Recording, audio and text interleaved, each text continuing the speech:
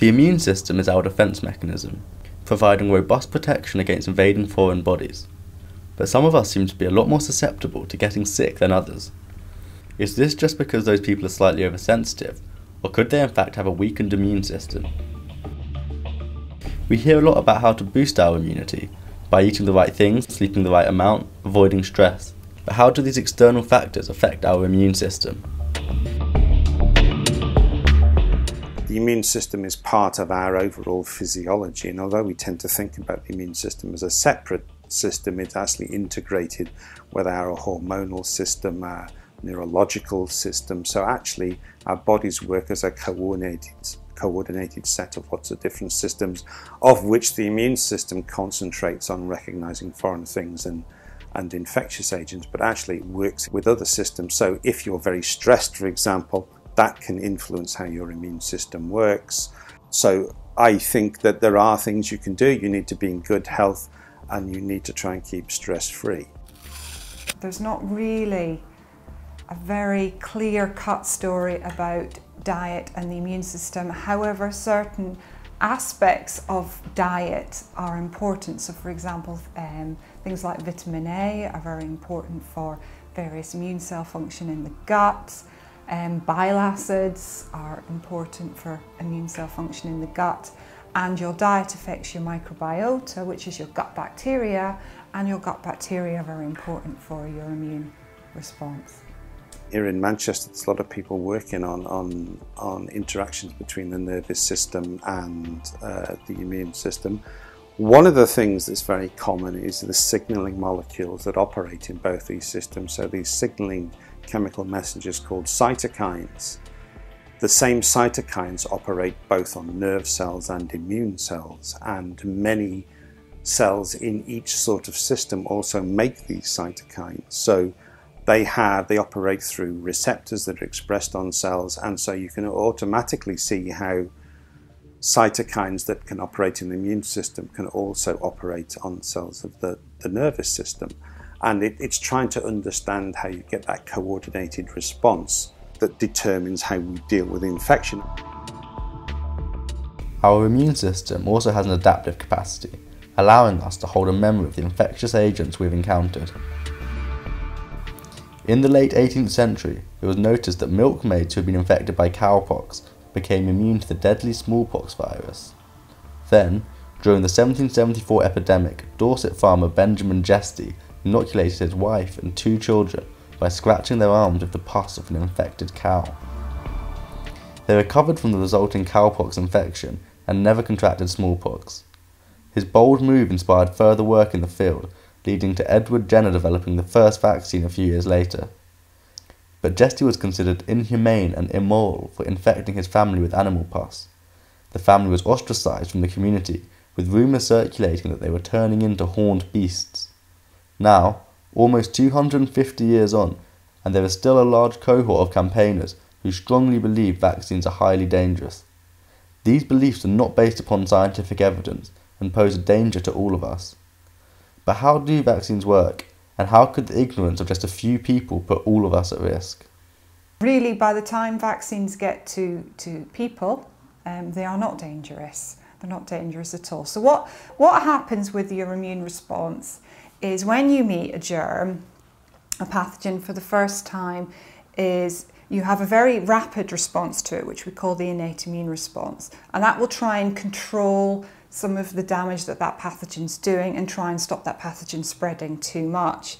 However, it's not specific. So this then talks, this innate immune system then talks to another part of your immune system, which we call the adaptive immune system. And these are your T cells and your B cells, or your T lymphocytes and your B lymphocytes. And what they do is they have memory and they respond very specifically to that pathogen and they will remember it. So if you meet a pathogen again later in life and you've had it before, you have that immune memory, which means you will have a very rapid and a very specific immune response to it. So that would be the natural way that you would then develop immunity to an infection. And what a vaccine is doing is it's trying to mimic that. So by giving you either a little piece of, a, of one of the germs or something that looks like one of the germs, we are able to trigger the immune response into developing memory, which means that you are then protected from that infection later on. So obviously, that tends to be safer than actually having the infection, particularly if it's a, a nasty infection. So some vaccines will have side effects, just like uh, any medication that you take. If you take your pills out and have a look at them, there's a whole list of side effects. I mean, most of the time that doesn't happen.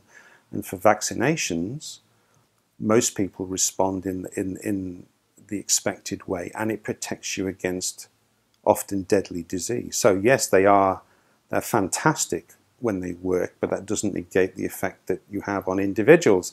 And that's probably down to individual circumstances, your host genetics, and how you're feeling at the time that you're vaccinated.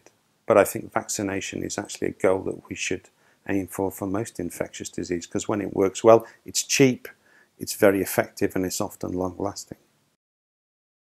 So the idea of herd immunity is, is if you've got lots of people in a population um, that are vaccinated, they are immune to infection and the, and the germ can't spread. So the germ will ultimately die out. If you don't have enough people that have the vaccine, then the germ can spread. And this is what's happened with measles. People became very nervous about the measles vaccine um, because of some research which has been shown to be wrong. Um, and they stopped having the measles vaccine, they stopped having the MMR vaccine, and now lots of people don't have the measles vaccines for something that was actually on the verge of being eradicated is coming back because this is a very infectious disease. And if you've got lots of people who aren't vaccinated, it jumps very easily from person to person. Um, and it's sort of an example of herd immunity kind of going wrong, unfortunately. The vast majority of the scientific community agree that vaccines pose no significant health risk by the time they are being produced for human prescription. But one thing that is not so obvious is the case of the increasing incidence of allergic and autoimmune disease in the Western world. What we have noticed in, in the West, in Western civilizations, is and the developed countries is that there suddenly seems to be an increase in new diseases like allergies and autoimmune diseases. And these are diseases where your immune system is not working properly, it's going wrong. So, in an allergy, what's happening is the immune system is reacting to something harmless that you should be ignoring. And in an autoimmune disease, what the immune system do, is doing is it's basically reacting to something in your body. And because it's part of you, you can't get rid of it. So, you have what we call a long term or a chronic reaction. And that's why autoimmune diseases last in the way that they do.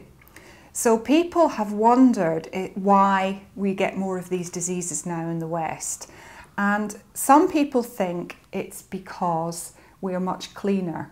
So a chap called Strachan, he um, noticed that in rural environments, so in the country, um, there were less allergies and autoimmune diseases, and in places um, where there was large family groups, so if you had a large family, you're also less likely to get an allergy. So he suggested that was because you were getting more interaction with germs at a young age that was training your immune system so you were less likely to develop the allergy. We're not exposed to as many infectious agents of all types as we would have naturally evolved to do.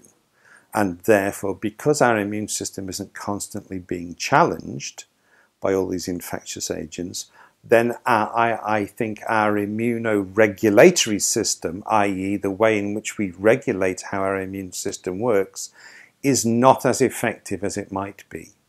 So, in countries where they get a lot of exposure to lots of different kinds of infectious agents right from an early age, our immune system learns to set a balance up and a degree of how we regulate our immune system so that it doesn't become overzealous or overactive against both our own cells and innocuous agents such as pollen or, or house dust mite.